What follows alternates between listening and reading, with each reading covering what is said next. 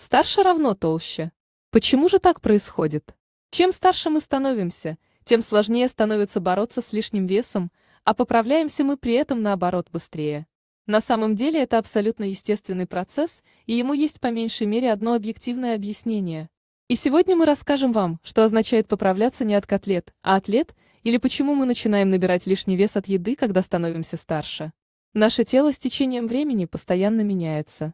Это относится к состоянию мышц костей, а также к скорости метаболизма.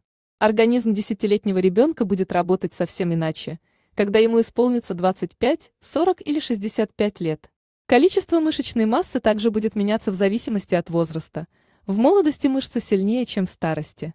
А потому совершенно нормально с годами замечать жировые отложения там, где их раньше не было, или в тех местах, где от них было несложно избавиться.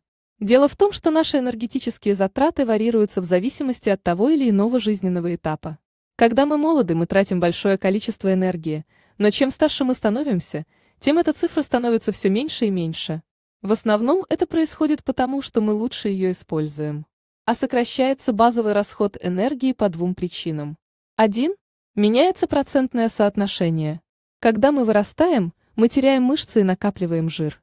Например, процентное содержание жира у мужчины в возрасте от 20 до 30 лет колеблется между 18 и 21%, от 41 до 50 лет – от 23 до 25%, а у мужчины в 60 лет и старше превышает 26%. С женщинами происходит то же самое – от 22 до 24% жира у женщин в возрасте 20-30 лет – от 27 до 30% в возрасте 41-50 лет и более 31% после 60 лет. Жир накапливается естественным образом, а вот мышечная масса уменьшается, потому что именно мышцы тратят большую часть имеющейся энергии. 2.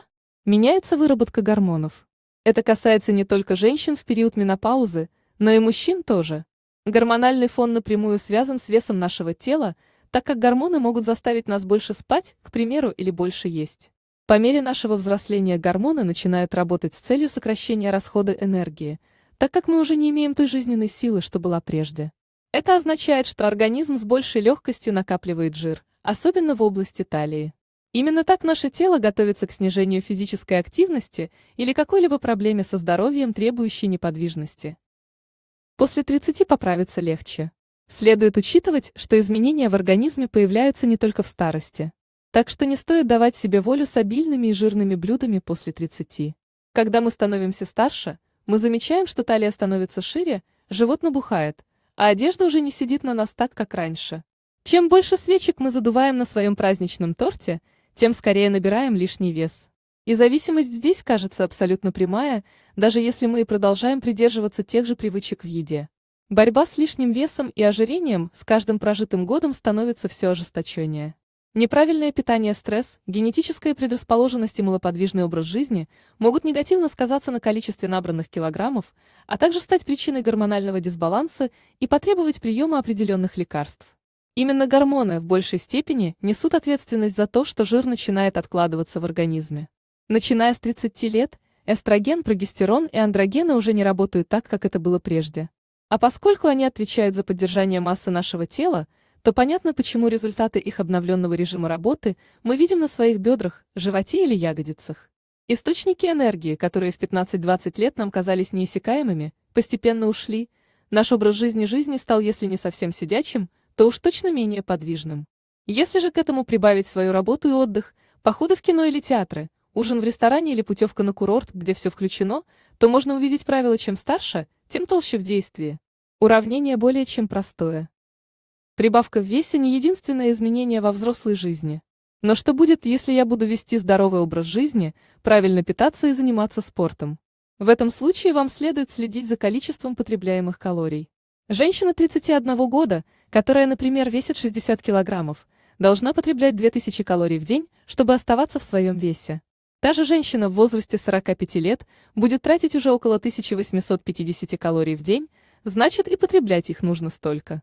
А если она будет продолжать потреблять по 2000 калорий, то 150 станут просто лишними. И тогда где-то за 6 месяцев она легко наберет около 4 килограммов.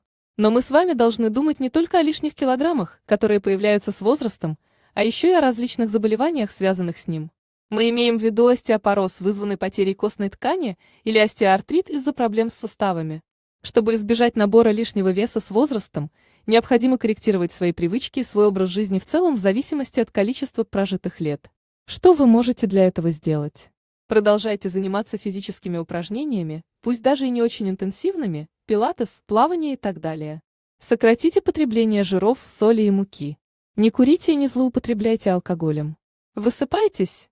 Наконец, нужно понимать, что просто невозможно иметь одно и то же тело и тот же размер одежды в 25 и в 50 лет. За два десятилетия изменились наши привычки, да и сама жизнь, а наш организм просто подстроился под эти изменения. Спасибо за просмотр. Ставьте отметку «Нравится». Оставляйте комментарии. Подписывайтесь на канал. С вами была Алиса Иванова.